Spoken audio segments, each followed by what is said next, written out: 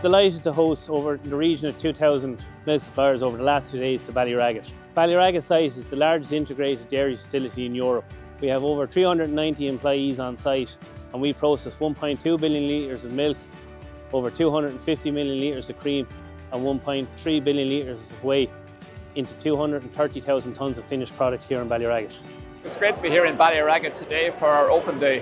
Uh, since Tirlán became a 100% farmer-owned co-op a couple of years back, you know, been focused on having a day so that farmers can actually see the business that they owned. We have uh, our team here from right around the world, from markets in Central Asia and Dubai and the Middle East and Europe, the USA. So it's great to have the opportunity for our farmers to meet our teams and what's happening in your products and innovation. They've come here to see the wonderful technology and the processing assets we have here. They've come to see the products that we are making and all the wonderful uh, innovative um, concepts and products that are being developed here and brought to over 95 markets around the world. But probably most important of all, it's a wonderful opportunity for farmers to come and meet the fantastic people that work here in Tirlán and that ensure that the milk that they supply to the highest quality standards is processed to very valuable products and taken care of right around the world in our market. So it's a great day for our farmers, but it's also a great day for all of us employed in the organisation uh, to witness that. As always, very informative and always a very enjoyable day to meet all the people within the whole process of processing the milk and the shelf life and the, and the productivity and the research that goes into all those products is quite informative.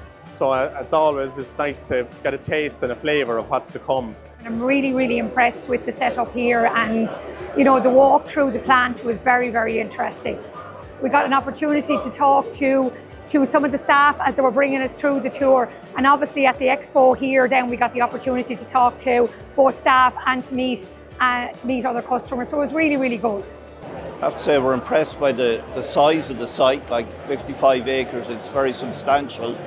And um, again, impressed by developing new markets. So it gives you um, confidence maybe to invest in your own farm business at home when you see the uh, research and development that's going on here to uh, find markets for meat. And you know we're going to have to look at maybe doing this again in a few years' time as we try to encourage uh, the next generation of daughters and sons into dairy farming.